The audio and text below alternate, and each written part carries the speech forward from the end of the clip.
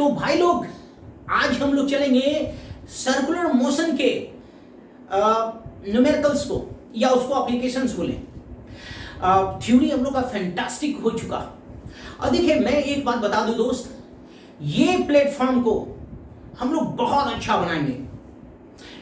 किस संदर्भ में? मतलब हिंदी बोल दिया मैंने बहुत ज़्यादा अच्छा हिंदी बोल दिया। किस रेस्पेक्ट में? रेस्पेक्ट क्या होना चाहिए? क्वालिटी नॉलेज या क्वालिटी एजुकेशन और रिजल्ट्स देखिए मैं आपको ये बताता हूँ तहे दिल से कि ये प्लेटफॉर्म बहुत एफर्ट करेगा आने वाले दिनों में। आप बस इस प्लेटफॉर्म से जुड़े रहिए, ठीक है? और दोस्त, क्या बोलूँ? हाँ एक और बात मैं बोलना चाह रहा हूँ कि आप एग्जामिनेशन हॉल में बैठेंगे, हम लोग का गारंटी है कि आप टॉप रैंक के मार्क्स को इजीली स्कोर कर लेंगे। ये ऐसा प्लेटफॉर्म हम लोग बनाने जाएँगे ओके अब चला जाए, बात कम किया जाए, काम को बढ़ाया जाए। ओके दोस्त, चलिए। देखिए अब हम न्यूमेरिकल्स को स्टार्ट करते हैं। कॉन्सेप्चुअली ठीक है? देखिए, इसमें हमने ये लिया है वर्टिकल सर्कुलर मोशन ओके अब ये देखिए वर्टिकल सर्कुलर मोशन क्या है? और उससे रिलेटेड देखिए, मैं यहाँ क्या बताना चाह रहा हूँ? ये छोटे छोटे पॉइंट्स आप गैदर कीजिए और उसको इम्प्लीमेंट कीजिए आप क्वेश्चंस में। तो हमारा टारगेट क्या है कि जो छोटे छोटे पॉइंट्स हैं एग्ज़ाम ये कॉन्सेप्चुअल पॉइंट्स उसको हम लोग मतलब कैरी करेंगे, है ना? और इम्प्लीमेंट करने की कोशिश करेंगे न्यूमेरिकल्स में ओके तो कुछ हम लोग चलते हैं, कुछ एग्ज़ाम्पल से चलते हैं, दोस्त। तो देखिए, एक एग्ज़ाम्पल हमने लिया है वर्टिकल सर्कुलर मोशन का। ओके मतलब इससे रिलेटेड क्या क्या पैरामीटर्स हैं वो सब समझेंगे। तो भाई साहब क्या क्या पैरामीटर्स है? तो जैसे देखिए ये पॉइंट ऑफ़ सस्पेंशन है भैया और ये हल्का थ्रेड है लाइट वेट थ्रेड है और यहाँ पर एक मास है है ना? जैसे नहीं समझे? जैसे यहाँ पर एक, थ्रेड का एक एंड आप नेल से लगा दीजिए वो वर्टिकल वॉल में है ना? और दूसरा एंड पर एक मास लगा दीजिए। मास टाइट कर दीजिए। अब देखिए मास भारी होना चाहिए थ्रेड के रिस्पेक्ट में, अभी के डिस्कशन में। मतलब मान लीजिए कि मास अगर दो के हो तो थ्रेड सपोज़ कर लीजिए टेन ग्राम हो ट्वेंटी ग्राम हो, चलेगा, है ना? चलिए।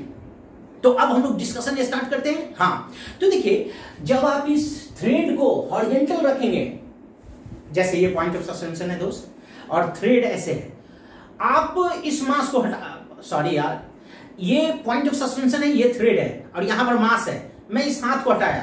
तो ये ये मास ऐसे गिरेगा वर्टिकल सर्कल में गिरेगा। तो क्या क्या पैरामीटर होगा दोस्त? आप बताइए क्या क्या पैरामीटर होगा? तो पैरामीटर्स होंगे कि हाँ भाई, ये गिरेगा तो ये ऐसा वर्टिकल सर्कल करेगा दोस्त। ओके तो इसका एक्सेलरेशन क्या होगा? इस ऑब्जेक्ट का, ये बॉल का। या एक्सेलरेशन क्या होगा? टेंशन क्या होगा? वेलोसिटी क्या होगा? बहुत सारी चीज़ हम निकाल सकते हैं, है ना? जैसे फॉर एग्ज़ाम्पल यहाँ पर टेंशन क्या होगा? दोस्त, ये देखिए, ये ये ये। यहाँ पर अर्थ ऐसे लगा रहा है एमजी और तो एमजी ऐसे लगाएगा ना तो ये हॉरिजेंटल डायरेक्शन में कोई भी फोर्स क्रिएट नहीं होगा। आप अगर खींच देंगे, तब तो क्रिएट होगा ही। मैं बस होल्ड कर रखा हूँ और हाथ छोड़ा। तो जिस वक्त आप छोड़ेंगे ना, उस वक्त इस थ्रेड में कोई फोर्स क्रिएट नहीं होगा दोस्त ओके अब देखिए, यहाँ पर एम लगा। हाँ अब यहाँ पर क्या होगा? यहाँ पर टेंशन क्या हो गया? ज़ीरो और यहाँ पर टेंशन क्या होगा? एट लोएस्ट पॉइंट ये लोएस्ट हो गया ये टॉप मोस्ट पॉइंट हो गया। तो ये टॉप मोस्ट पॉइंट पर टेंशन क्या होगा भाई साहब? बंधु, ज़ीरो। और लोएस्ट पॉइंट पर थ्रेड में टेंशन क्या होगा? मैक्सिमम कितना से होगा? मैग्नीट्यूड क्या होगा? हमारा मेन कंसर्न क्या है दोस्त? मैग्नीट्यूड है ना? तो देखिए मतलब ये मैग्नीट्यूड को जानना हमारा मेन कंसर्न है। एक और बात चलते हैं। यहाँ पर वेलोसिटी क्या होगी भैया? ज़ीरो होगी। और यहाँ पर वेलोसिटी क्या होगी? मैक्सिमम होगी, क्योंकि ये बड़ा हाइट तक गिरा है। और वेलोसिटी का डायरेक्शन क्या होगा? ऑरिएंटल और यहाँ पर वेलोसिटी क्या होगा? ज़ीरो तो एक बात और आया दिमाग में। कि देखिए, ये ऐसे है तो ये बाई एक्सिस ले लीजिए ये एक्स एक्सिस ले लीजिए। मेरा बात को समझिएगा भैया। तो यहाँ पर ये नीचे भी गिर रहा है ये ये बाई एक्सिस लीजिए भाई साहब और ये एक्स ले लीजिए। तो ये आ, मतलब एक्स डायरेक्शन में भी जा रहा है ओके? और बाई डायरेक्शन में भी जा रहा है। इसका मतलब ये है कि यहाँ पर वर्टिकल वेलोसिटी क्या है? ज़ीरो और यहाँ पर क्या है? आप देखिए आप देखिए यहाँ पर ये एंगल वर्टिकल के साथ थीटा ले लीजिए। तो यहाँ पर क्या होगा? यहाँ पर वेलोसिटी इस डायरेक्शन में होगा टेंजेंशियली सर्कुलर पाथ में वेलोसिटी टेंजेंशियल होता है भैया। तो ये वेलोसिटी के दो कंपोनेंट होंगे। एक इस डायरेक्शन में और एक इस डायरेक्शन में। इसको हॉरिजेंटल बोलिए और इसको क्या बोलिए? वर्टिकल है ना? तो ये नेट वेलोसिटी होगा तो एक वेलोसिटी डाउन होगा, एक वेलोसिटी क्या होगा? हॉरिजेंटल समझ गए बात आपको? अब देखिए आगे। तो मेरा ये क्वेश्चन है कि कब वर्टिकल वेलोसिटी मैक्सिमम होगा? बहुत सारे पॉइंट्स निकाल सकता हूँ मैं। और कब हॉरिजेंटल वेलोसिटी मैक्सिमम होगा? तो आप ये बताइए हॉरिजेंटल वेलोसिटी तो यहाँ एट लोएस्ट मोस्ट पॉइंट पर हॉरिजेंटल वेलोसिटी मैक्सिमम होगा। और वर्टिकल वेलोसिटी यहाँ पर क्या होगा? ज़ीरो और यहाँ पर भी क्या होगा? ज़ीरो और यहाँ पर टोटल वेलोसिटी ज़ीरो होगा। तो कहाँ पर वर्टिकल वेलोसिटी मैक्सिमम होगा? हॉरिजेंटल तो यहाँ मैक्सिमम हुआ भैया। और भी क्या क्या पॉइंट निकाल सकता हूँ, दोस्त? और और और और, हाँ। और एक्सेलरेशन के बारे में चलते हैं। जैसे देखिए एक्सेलरेशन जैसे मान लीजिए यहाँ पर एक्सेलरेशन क्या होगा? ज़ीरो होगा। सॉरी गलत बोल दिया। यहाँ पर एक्सेलरेशन क्या होगा? अर्थ। इस मास को अर्थ खींचेगा ना तो जी एम जी फोर्स लगेगा। और इस ओर कोई फोर्स नहीं है। तो इस ओर कितना होगा एक्सेलरेशन 9.8 ओके अब देखिए आगे। इस ओर एक्सेलरेशन 9.8 होगा। और और और, हाँ। फिर देखिए, मेरा ये कहना है और इस ओर एक्सेलरेशन क्या होगा? तो जरा दिखिए तो दिखिए तो। यहाँ पर ऐसे जा रहा है, ये हॉरिजेंटल है तो ये मुड़ गया ऐसे। ऐसे मुड़ेगा ना, देखिए। एक मिनट भैया। ऐसे मुड़ गया। देखिए देखिए, ये ऐसे चला गया कब यानी टेंशन हाई होगा। सेंटर की ओर फोर्स या कहें कि टेंशन हाई होगा और अर्थ फोर्स लगाएगी, वो कमज़ोर लगाएगी। टेंशन हाई होगा। तो देखिए, हम क्या जानना चाह रहे हैं?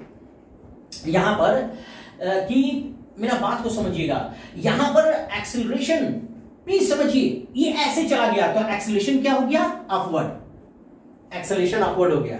और यहाँ पर एक्सेलेशन क्या हो गया? 9.8 डाउनवर्ड तो हम क्या कहना चाह रहे हैं कि ये जो 90 डिग्री का मोशन है, यहाँ पर एक्सेलेशन डाउन यहाँ पर एक्सेलेशन अप मेरे दोस्त।